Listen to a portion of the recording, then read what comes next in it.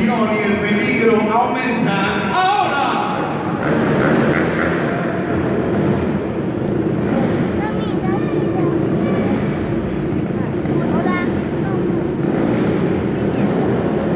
¿Alguna falla técnica en la motocicleta? ¿Todo bien?